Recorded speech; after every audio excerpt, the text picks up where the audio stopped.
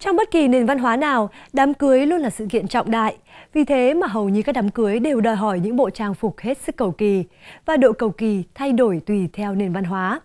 Tiếp tục chương trình, mời các bạn cùng thưởng lãm những bộ trang phục cưới và các phụ kiện ẩm thực cưới của người dân Nam Á trong tuần lễ đám cưới Di Asiana diễn ra ở Anh.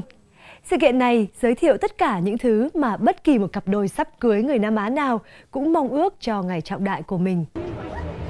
Một cuộc khảo sát ở Anh Quốc cho thấy Vương quốc Anh có 2,4 triệu người Anh gốc Á. Để phục vụ nhóm dân này, cả một ngành công nghiệp đám cưới quy mô đã phát triển ở Anh. Triển lãm đám cưới The Asiana là nơi các nhãn hàng và thương hiệu có tiếng như trang sức Cruise trưng bày những thiết kế mới nhất của mình. Nhiều đám cưới châu Á không thể thiếu những món đồ trang sức cầu kỳ, trị giá như hai người mẫu cô dâu này đang mang trên mình. Cô Anaya đây đang đeo một chuỗi vòng đá thủy tinh Punjabi kết hợp với mặt vòng chính giữa làm bằng ngọc trai, được trang trí kiểu nghệ thuật Rangoli. Đôi hoa tai rực rỡ và mặt tika đính trên đỉnh đầu. Còn Charlotte, chúng tôi để cô mặc một bộ trang phục rất truyền thống Ấn Độ là Sabia Sachi, đầu quấn khăn và trang điểm kết hợp với một bộ vòng truyền thống ôm sát cổ. Chúng tôi dùng cả vòng màu xanh lá và ngọc trai để bổ sung cho mái tóc, trang điểm, có cả chuỗi dây trên đầu. Bánh cưới là thứ rất quan trọng ở các đám cưới phương Tây, nhưng ở các nước Nam Á thì chúng còn khá mới mẻ. Những món tráng miệng nho nhỏ cũng vậy. Tuy nhiên, hiện nay, những món ăn này cũng đã xuất hiện và khá thịnh ở những đám cưới phương Đông. Mọi người sẽ vẫn dùng món bánh nếp ngọt xốp chiên ngập dầu và bánh gạo pudding Món trắng miệng có nguyên liệu chính là cà rốt. Bạn không thể bỏ bớt những món ăn này ra khỏi thực đơn trong đám cưới vùng Nam Á. Nhưng xu hướng ngày càng chuộng những món tráng miệng phương Tây hơn, như bạn có thể thấy đây.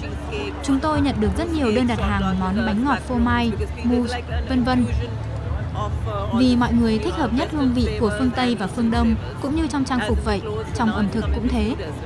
Vì thế mọi người cố gắng hướng Tây, nhưng ít nhất thì hương vị vẫn có chút phương Đông trong đó.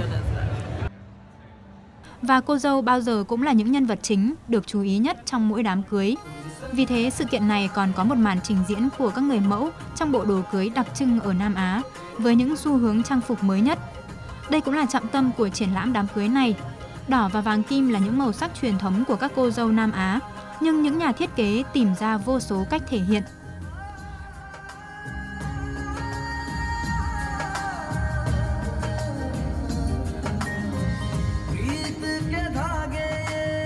Theo các chuyên gia về tổ chức đám cưới, thì ngày nay các cô dâu chú rể ngày càng chủ động trong việc lên kế hoạch tổ chức đám cưới của mình. Mọi thứ giờ đang thay đổi thực sự. Cha mẹ không thật sự tham gia vào quá trình này. Các cặp cô dâu chú rể tự tay đứng ra chuẩn bị mọi thứ cho đám cưới của họ nhiều hơn. Về tài chính, về kế hoạch tổ chức, họ đều muốn đám cưới của mình hoàn hảo. Với cô dâu Hania Khan, giá trị gia đình truyền thống ở Nam Á luôn là điều quan trọng trong đám cưới của cô. Tôi làm cô dâu, tôi tới xem đồ trang trí này, mời khách này, đồ dùng cần thiết, quần áo, giày dép, đồ ăn, hầu như tất cả mọi thứ. Hôm nay tôi tới đây cùng vị hôn phu của mình. Gia đình anh ấy và gia đình tôi rất tốt. Chúng tôi làm mọi thứ cùng nhau. Kế hoạch cho đám cưới, cả hai chúng tôi đang thực hiện. Đây là việc của cả hai người. Có một vài thứ cô ấy đảm nhận thì hợp lý hơn, nhưng tôi có thể giúp đỡ việc trang trí và tìm kiếm bộ cánh hợp với mình để diện vào ngày trọng đại đó.